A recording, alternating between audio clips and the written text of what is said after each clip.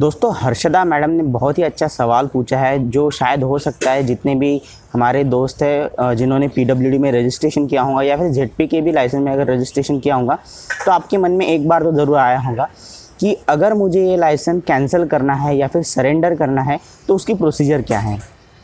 देखिए सबसे पहले तो हम ये देखते हैं कि किस केसेस में आपको लाइसेंस जो है कैंसिल करना चाहिए या नहीं करना चाहिए ठीक है? पहले हम ये देखते हैं कि किस केसेस में आपको कैंसिल नहीं करना चाहिए ठीक है?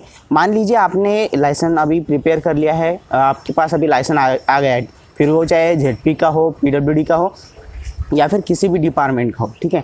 उस केस में अगर आपने लिख के नहीं दिया है आपके डिपार्टमेंट को कि अगर मैं किसी जॉब पर जाता हूँ या फिर गवर्नमेंट जॉब या फिर प्राइवेट जॉब या फिर मेरे खुद के भी बिज़नेस में अगर मैं रहता हूँ तो मुझे मेरा लाइसेंस कैंसिल करने की ज़रूरत है या नहीं? अगर ये मेंशन आपने नहीं किया है या फिर एफिडेविट भी नहीं दिया है तो उस केस में आपको कोई ज़रूरत नहीं है कि आपको जो आपका लाइसेंस है पीडब्ल्यूडी का या फिर जेडपी का या फिर कोई भी किसी भी डिपार्टमेंट का, वो कैंसिल या फिर सरेंडर करने की आपको बिल्कुल भी ज़रूरत नहीं है, ठीक है? ये सबसे पहला पॉइंट रहा। बेसिकली कहने का मतलब ये है कि अगर आपने रिटर्न में कुछ नहीं दिया है डिपार्टमेंट को लाइसेंस कैंसिलेशन या फिर सरेंडर के रिलेटेड तो फिर आपको लाइसेंस कैंसिल करने की कोई आवश्यकता नहीं है, ठीक है? अब यहाँ पर और एक केस ऐसी है, मान लीजिए आपने रिटर्न में दिया है कि हाँ आपको अगर कोई जॉब लगता है या फिर गवर्नमेंट जॉब आपको मिलती है प्राइवेट जॉब मिलती है, या फिर आपका खुद का बिज़नेस शुरू होता है तो उस केस में आपको जो है लाइसेंस कैंसिल करना पड़ेगा या फिर सरेंडर करना पड़ेगा। तो देखिए दोस्तों, यहाँ पर मैं आपको एक बात बता दूँ कि अगर आपको लगता है कि जो भी आपका प्राइवेट जॉब है या फिर बिज़नेस है, देखिए मैं यहाँ पर गवर्नमेंट जॉब की बात नहीं कर रहा हूँ, मैं सिर्फ़ प्राइवेट और आपके खुद के बिज़नेस की बात कर रहा हूँ। अगर आपको लगता है कि ये जो जॉब है, ये परमानेंट नहीं होगा, ठीक है? या फिर आपको इस जॉब पर थोड़ा सा भी डाउट है कि हो सकता है कि कल जाकर ये जॉब मुझे छोड़ना पड़े तो उस केस में मैं कहूँगा कि आप थोड़ा सा रिस्क ले लीजिए और उस केस में आपके लाइसेंस को किसी भी तरह से सरेंडर या कैंसिल मत कीजिए। बिकॉज़ जब चूँकि कैसा है, आपने जो लाइसेंस बनाया है, उसमें बहुत ज़्यादा टाइम गया है और मिनिमम तीस आपके खर्च हुए हैं, ठीक है? मिनिमम बता रहा हूँ मैं, इससे ज़्यादा भी खर्चा हो सकता है। तो उस केस में लाइसेंस कैंसिल कर देना। ये डिसीज़न थोड़ा रूट डिसीज़न हो सकता है, आपके लिए थोड़ा अच्छा डिसीज़न नहीं होगा, ठीक है? अब लाइसेंस कब कैंसिल करना चाहिए, वो मैं सिचुएशन आपको बताता हूँ। देखिए, ये सब तो चीज़ें हो गई कि अगर आपका प्राइवेट जॉब है, आपके पास कोई स्कोप नहीं है, ठीक है? लेकिन मान लीजिए कि अब आपने एक ऐसा जॉब शुरू किया है, फिर वो चाहे प्राइवेट हो या फिर आपका बिज़नेस हो, ठीक है? और उस केस में आपको हंड्रेड परसेंट श्योर है कि अभी ये जॉब जाने वाला नहीं है, ठीक है? आपकी मतलब लाइफ टाइम अब आप इसी जॉब के ऊपर काम करने वाले हो, आपको आपके पास दूसरा ऑप्शन नहीं है, या फिर अब ये जॉब आपसे कोई छीन नहीं सकता। ये अगर आपको हंड्रेड परसेंट एश्योरेंस है तो हाँ उस केस में अगर आपने रिटर्न में दिया था डिपार्टमेंट को कि मैं लाइसेंस सरेंडर करूँगा तो उस केस में आपको लाइसेंस सरेंडर करना चाहिए। और जो दूसरी और मोस्ट इंपॉर्टेंट बात है, वो ये कि अगर आपको गवर्नमेंट जॉब लग जाती है, ठीक है, मान लीजिए आपको किसी भी डिपार्टमेंट की, फिर वो चाहे सिविल रिलेटेड हो या फिर अदर कोई भी अगर गवर्नमेंट जॉब अगर आपको मिलती है तो फिर तो भाई आपको कैंसिल करना ही है सरेंडर करना ही है आपका लाइसेंस फिर चाहे उस गवर्नमेंट जॉब की गारंटी हो या ना हो, उसका रीज़न मैं आपको बताता हूँ। जब आप गवर्नमेंट जॉब में इंटर होते हो तो उस केस में अगर आपने रिटर्न में लिख के दिया है कि मैं इस लाइसेंस को कैंसिल करूँगा तो वहाँ पर क्या है? एक्चुअली जो डिपार्टमेंट है, वो आपको काम क्यों दे रहा है? उसमें दो लाइसेंस एक है नॉन जो नॉर्मल कॉन्ट्रैक्टर का लाइसेंस और एक होता है अनएम्प्लॉयड कैटेगरी का। चलो ठीक है नॉर्मल और अनएम्प्लॉयड का जो है, वो एक बात अगर बाजू छोड़ दे, अगर आप गवर्नमेंट सर्वेंट हो, ठीक है तो उस केस में डिपार्टमेंट आपको क्यों वो सुविधा दे जो एक नॉर्मल कॉन्ट्रैक्टर या फिर अनएम्प्लॉयड कॉन्ट्रैक्टर को देनी चाहिए अनएम्प्लॉयड इंजीनियर कॉन्ट्रैक्टर को देनी चाहिए? तो इसीलिए अगर आपको गवर्नमेंट जॉब लगती है तो फिर आपको मैंडेटरी है कि ये लाइसेंस आपको सरेंडर करना ही पड़ेगा, ये लाइसेंस आपको कैंसिल करना ही पड़ेगा। अब हम बात करते हैं प्रोसीजर की, ठीक है?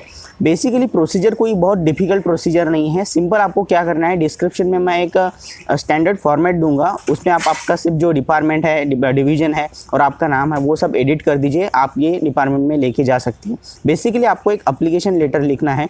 उस अप्लीकेशन लेटर में ये मैंशन रहेगा कि मैं जो अपना लाइसेंस है, उसका लाइसेंस नंबर रहेगा या फिर उसकी जो भी कॉपी है, वो आपको अटैच करनी है एप्लीकेशन के साथ। और ये उसमें मेंशन करना है कि मैं किस कारण ये लाइसेंस सरेंडर कर रहा हूँ, या फिर कौन सा रेफरेंस है। बेसिकली रेफरेंस में आप आपका एफिडेविट अटैच कर सकते हो और साथ ही साथ जो आपका ज्वाइनिंग लेटर होगा गवर्नमेंट जॉब के लिए, वो भी आप उसमें अटैच कर सकते हो, ठीक है? ये एक बात होगी अब देखिए, ये बहुत सिंपल वे हो गया है, ये प्रोसीजर ठीक है? लेकिन अब इसमें कुछ चीज़ें चेंज हो सकती है as per the places and division department में भी आपको ये कह सकता है कि जो अप्लीकेशन लेटर आप हमें दे रहे हो, ये आप आपके जो लेटर हेड होता है उस पर दीजिए या फिर एक बॉन्ड पेपर पर आप लिख के दीजिए। देखिए, मैं सिंपली कहूँगा कि पहली बात आपको ये सब जो प्रोसीजर है वो करनी पड़ेगी। उसका रीज़न ये है कि रजिस्ट्रेशन ठीक है डिपार्टमेंट में, किसी भी डिपार्टमेंट में रजिस्ट्रेशन तो रोज़ होते हैं, लेकिन जो कैंसिलेशन की प्रोसीजर होती है, वो रोज़ नहीं होती, ठीक है। बाद में अगर डिपार्टमेंट को आप लिख के दे रहे हो तो सिंपली जो अप्लीकेशन है वो तो नहीं चलेगा बिकॉज़ किस बेसिस पर या फिर किस गारंटी पर वो कह सकते हैं कि हाँ इस पर्टिकुलर व्यक्ति ने लाइसेंस कैंसिल किया है, ठीक है? बिकॉज़ उन्हें भी आंसर देने होते हैं। तो उस केस में मैं कहूँगा कि वो सभी प्रोसीजर आपको फॉलो करनी पड़ेंगी। बस एक बात का ध्यान रखना कि ये जो कैंसिलेशन प्रोसेस है, इसमें आपको किसी भी तरह के पैसे देने की ज़रूरत नहीं है, ठीक है? बिकॉज़ आप यहाँ पर लाइसेंस के लिए अप्लाई नहीं कर रहे हो, आप सिंपली लाइसेंस कैंसिल कर रहे हो। अब यहाँ पर एक और बात आती है कि क्या आपको रिफ़ंड हो सकता है? देखिए रिफ़ंड होना जो है, वो मैं कहूँगा कि यहाँ पर चांसेस बहुत कम है बिकॉज़ आपने रजिस्ट्रेशन के वक्त डिपार्टमेंट का समय लिया था, ठीक है? साथ ही साथ उनका जो उस काम करने में जो एफर्ट लगते हैं, उसके भी डिपार्टमेंट को पैसे लगेंगे। तो बेसिकली मैं कहूँगा कि आपको इसमें रिफ़ंड के चांसेस तो बहुत कम है। सिंपली आपके पास एक ऑफ़िस कॉपी आ जाएँगी कि हाँ हमने जो लाइसेंस है वो सरेंडर कर दिया। और कुछ दिन बाद हो सकता है आपके एड्रेस पर पोस्टल एड्रेस पर आपको ये सर्टिफिकेट भी मिल जाए कि आपका जो लाइसेंस है वो कैंसिल हो चुका है।